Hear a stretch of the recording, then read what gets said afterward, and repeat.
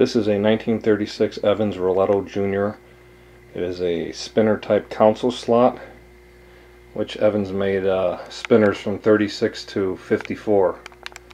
This particular model was made from 36 to 38, so it's pretty rare. They only made them for two years. Plus, it's a 25 cent machine, so it's even rarer. The reason it's uh, called a spinner is because it uses the spinner arm instead of reels to determine if you're a winner or not. If it lands on your number, you're a winner. The way you play this is uh, you put a quarter in for whatever block of numbers you, you're uh, shooting for. Over here you got your zero and double zero, and then your other blocks are uh, blocks of six. There's a total of seven possibilities that you can uh, play with. So if you play all seven coins, you're going to get a winner regardless. Uh, the highest odds that you can get would be the uh, the zero double zero, and uh, that goes up to 24 to one. All the other uh, odds either play two to one, four, six, eight, or ten to one. Let's see. I'll pull the lever here if I can do this one-handed. And get over here. As you can see, it looks like the a ball is being spun on the outside and as it breaks as it breaks the ball moves to the inside and we hit number 35 so if you look over here 31 to 36 was 2 that's what we got. You only heard the one click. It shoots out two quarters each time. Alright uh, we're gonna play this a little bit just to give you an idea how it works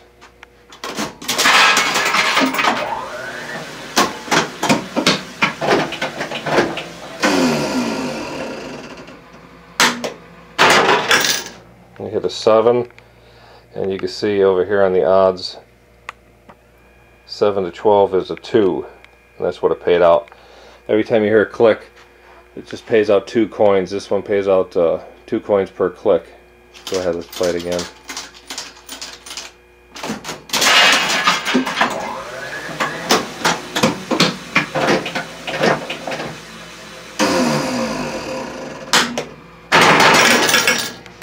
And that was a 10 and the 10 is 7 to 12 here so it's what? 6 that's what we had. We had 6 payout.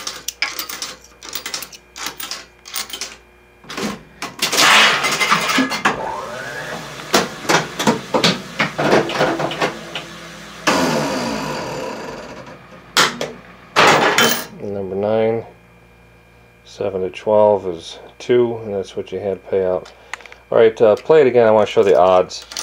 The way the odds work is, um, the odds you see now is not what you're going to get. Once you pull the, uh, the arm, your odds are going to change.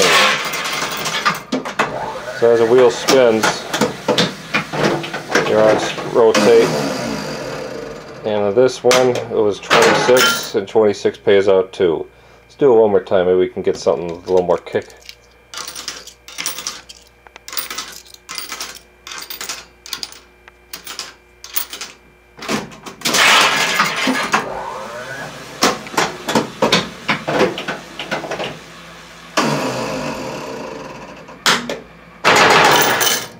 31. 31 to 36 was 6.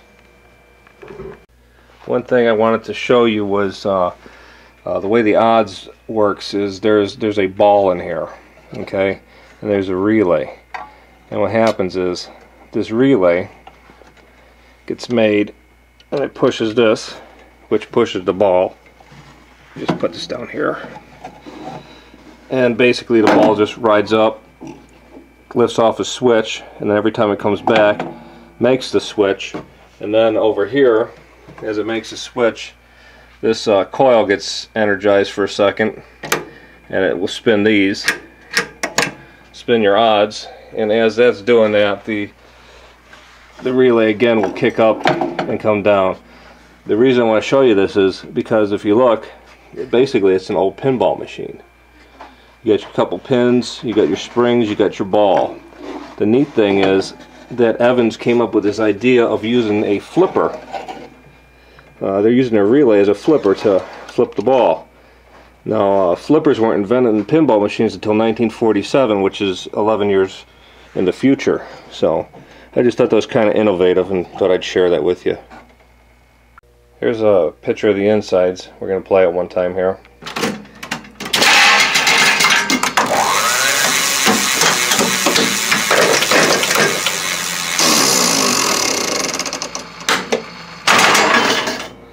I'm going to play it again. This time you can see the, the payout solenoid.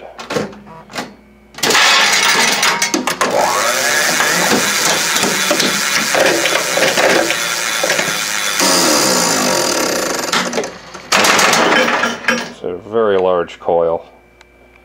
And that just about wraps it up. Let's take one shot of this. Take a far shot here. Because it does look pretty cool the way it is. Open up like that. And anyway, that's the 1936 Evans Rolletto Jr.